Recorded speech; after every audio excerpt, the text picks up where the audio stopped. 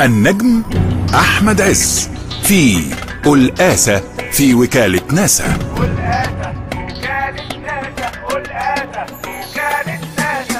أنا كنت ماشي في حالي ومركز مع كوكب عالي والحجر ده فجأة جالي. هنكت بلمت تنحت وأنا قلت خلاص مش إشكالية. أنا هدرس طبيعته الصخرية وهي حتى تكون خدمة وطنية. وشطحت سرحت فارتحت قول آسة في وكالة ناسا قول آسة في وكالة ناسا. بطولة النجم صلاح عبد الله إيمان العاصي سعيد طرابيك عايدة رياض محمود البزاوي نادين سبع وطارق الإبياري. نفسي بس العالم كله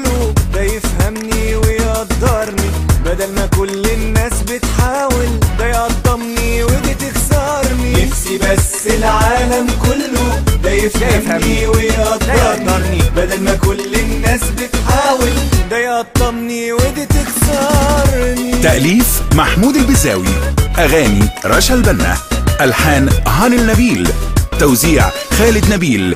إنتاج Right Marketing. أيوه أنا اسمي حسن قلقاسة وصلت بيك وكالة ناسا مع إنها قابلتني غلاسة. فرحت ونجحت وفلحت أيوه أنا اسمي حسن قلاسة وصلت بيك وكالة ناسا مع انها قابلتني غلاسة. بس فرحت ونجحت وفلحت أنا كنت ماشي في حالي.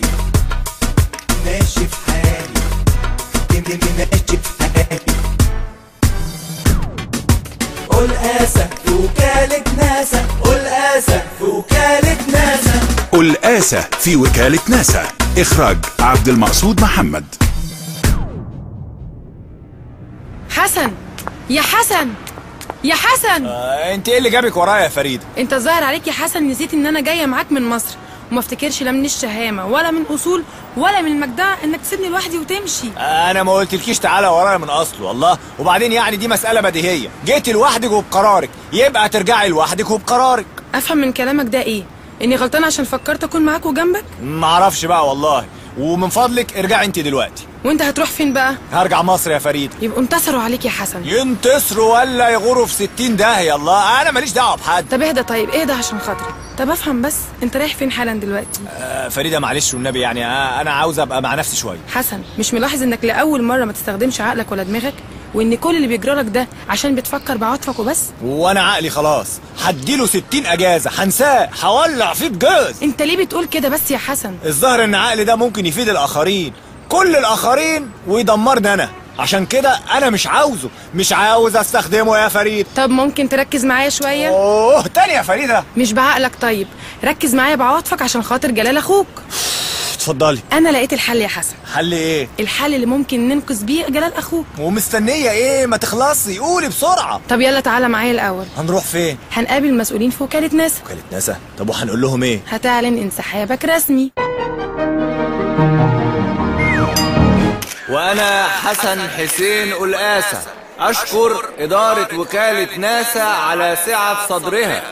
وتفهمها لموقفي والذي أراه موقف بديهي حتمي ويراه البعض أنه موقف عاطفي.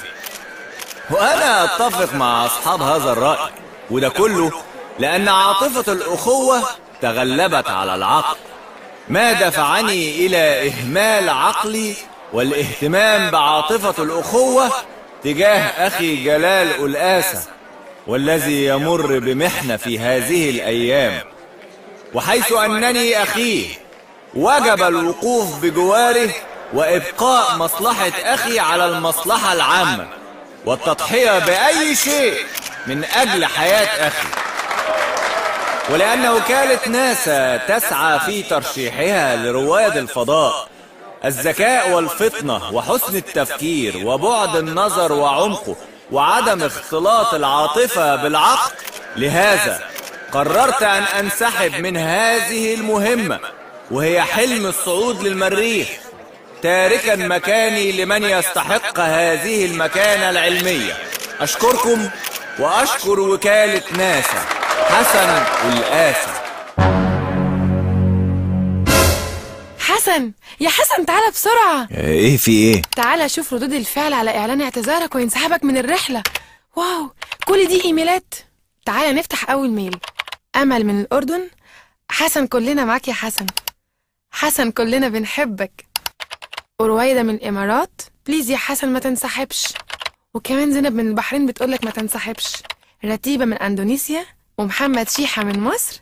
بيقولك أنت كنز بالنسبة لنا يا حسن. وبيقولك كمان إنك أكبر من الوصول لكأس العالم وكمان في إيميلات جاتلك من بنجلاديش والهند وإنجلترا وكوريا واليابان وروسيا وأمريكا.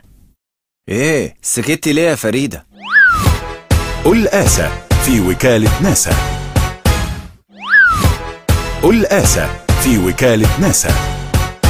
استنى استنى يا سي حسن. حسن من أول ما عرفتك وحسيت إنك إنسان مثالي وعظيم يا ريت يا حسن تبقى واقع مش حلم. حبنا هيعليك وهيرفعك لفوق أكتر وأكتر. ويا ريت بقى ما تخسرش حب الأخ لأخوه. الحب أكبر من المريخ يا حسن. إيه الكلام ده؟ ده غريب قوي وغير منطقي. ما هو لما يبقى من مهرة هانم يبقى منطقي وحتمي كمان. طيب؟ إيه يا فريدة الله مالك؟ قلبتي وشك كده ليه؟ مش عارف ليه قلبت وشي؟ ما أنا لو عارف ما كنت سألتك واستهلكنا الوقت في سفسطة وجدال غير منطقي. عاوزني أشوف واقرا بنفس الرسالة اللي جايبها لك من الست مهرة واتبسط من يوم ما عرفتك وأنا حاسة إنك مثالي وعظيم. استني بس يا فريدة الله ما تخليش مشاعر الغيرة تغلبك. يعني أعمل إيه طيب؟ ركزي في الرسالة وشوفيها من منطقة تانية. بلاش بقى تبقي ضيقة الأفق للدرجة دي. متأسفة مش هقدر أشوفها من ناحية تانية يا سي حسن وهي ملهاش غير ناحية واحدة أصلا. اللي هي إيه بقى؟ إنها بتحبك وانت بتحبها؟ أه بطلي جنان بقى يا فريدة الله. أنا لو اتجننت يبقى انت السبب يا سي حسن. اهدي بس اهدي اهدي. وبعدين أنا عايزك تحكمي عقلك.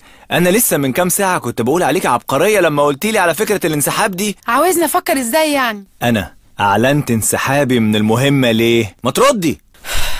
عشان تنقذ أخوك جلال. طيب؟ وفين بقى اللي كانوا رهاين مع جلال؟ الست مهرة والمنتج بتاعها. وكانت إيه بقى مطالب رودريجو عشان يحررهم؟ إنك تعلن انسحابك. امم وإيه اللي حصل من شوية؟ أعلنت انسحابك. ولما الست مهرة تبعت لي إيميل معنى كده إنها بقت حرة. صح يا حسن. ومعنى إن مهرة حرة يعني جلال أخويا. يبقى حر. يبقى حر. أيوه بالظبط كده. ياه. ده أنا فرحان بيك يا قوي يا فريدة. من إمتى يا حسن طيب؟ من ساعة ما قلتيلي نروح ونقابل المسؤولين في وكالة ناسا ونحكي لهم على الموقف اللي أنا فيه. واقتنعوا إننا نلعب لعبة الانسحاب دي علشان ننقذ أخويا جلال. وبمجرد رودريجو ما يشوف الرسالة هيفرج عن الرهاين. هايل يا فريدة. انت عارفة انت عملتي إيه يا فريدة؟ انت اديتي لعقلي شحنة منشطة بس شديدة قوي وإنت كمان كنت ممثل هايل يا حسن لدرجة إن العالم كله صدقك. أنا اللي متفقة معاك وصاحبة الفكرة أصلا صدقتك. وواضح إنهم بلعوا الطعم كله.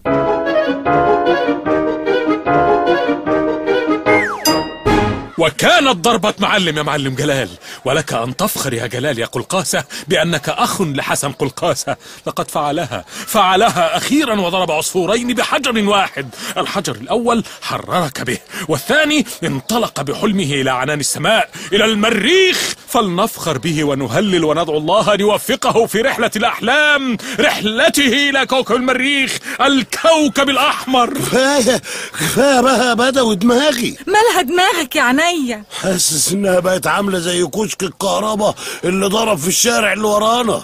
ألف سلامة عليك وعلى كهربتك يا جلجل. وهناك عصفور ثالث إنه أعاد الحب والوئام والود ما بينك وبين منيرة زوجتك. يا عم خليك محضر خير وما تفتحليش فتوحة ما تتقفلش. أعمل لك حاجة تاكلها يا جلجلتي؟ اعملي اعملي.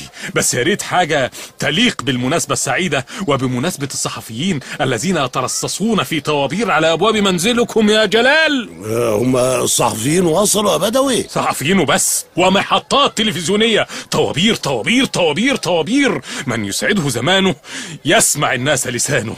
قل لي ما الذي تريد أن تقوله في المؤتمر الصحفي؟ أما تريد أن تجعلني لسان حالك لا أرد على أسئلتهم؟ وأنا إيه يا سي بدوي عويل؟ ما أعرفش أتكلم وأقابل صحافة وتلفزيونات. بقول لك إيه أنت تنظمهم لي تدخلهم لي واحد واحد. بس أهم حاجة إيه؟ تعرف هيدفعوا كام. اللي وصل له حسن والقاسه ده كله أنا السبب فيه. أنا اللي صرفت عليه. دي فرصتي عشان أعوض اللي أنا صرفته كله. بقول لك إيه دخلهم لي واحد واحد. قل آسى في وكالة ناسا. قل آسا في وكالة ناسا. أنا أقول لك صباح الخير أنت تتكلمين اللغة العربية؟ نعم أنا أتحدث بلغة الضاد ومن أي بلد بقى من البلاد التي تتحدث بلغة الضاد؟ ليس لي مكان ثابت في ميلاد ولكني أقول كل ما أعرفه أنني أنتمي لمنطقة الشرق مم. وأين ولدتي؟ ولدت في ألمانيا وتعلمت العربي ولغة الضاد فين؟ إن أبي وأمي كانوا يعيشان في مصر. ثم هاجروا إلى ألمانيا ثم هاجروا إلى روسيا ثم إلى أوكرانيا ثم استقرت بهم الأحوال في أمريكا. ولكن آه، أنت إحساسك أنت يعني آه، بتنتمي لأي بلد؟ للبلد الذي تنتمي أنت إليه. هاي يعني إيه؟ أنت مصرية؟ إن ابتسامتك جميلة وعيناك فيها من ابتسامتك الكثير.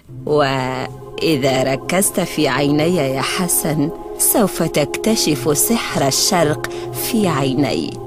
انظر يا حسن انظر إلى عيني.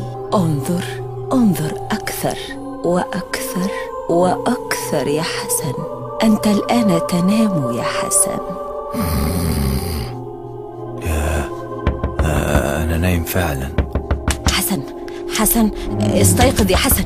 أنت لست نائم. اس- استيقظ حسن أنت لست نائم حسن حسن. إيه إيه إيه يا فريدة؟ إيه يا حسن أنت كنت نايم ولا إيه؟ اسمعي الهانم المذيعة كانت عاوزة تنيمني تنويم مغناطيسي. الظاهر إن هي منياهم طب ما تطردها. ما ينفعش. لازم أعرف هم عاوزين مني إيه يا فريدة. وبعدين؟ خليها تنيمني لو قدرت. آه ما قلتليش. انت كنت عاوزة إيه؟ أخوك جلال إيه ماله اتخطف تاني؟ وبكرة جاي وأنا جاي معاه وكلامي ده حقيقة علمية. مليون بيجي يوم تاني وراه وده حال الكرة الأرضية. وبكرة جاي وأنا جاي معاه وكلامي ده حقيقة علمية. مليون بيجي يوم تاني وراه وده حال الكرة الأرضية. همد ايدي لفوق في العالي وجايز أشب كمان شوية. هوصل للكوكب اللي في خيالي وحسبت لكوا يجي كام نظرية. شارك بالتمثيل محمد عبد الحليم محمد جبريل عادل خلف جلال الهجرسي صفوة صبحي. التسجيل والمونتاج استوديوهات Right Marketing هندسة صوتية محمد عبد العظيم مدير إنتاج يوسف الشربيني. إشراف فني رشا البنا إنتاج Right Marketing. قلقاسة في وكالة ناسا. تأليف محمود البزاوي. إخراج عبد المقصود محمد.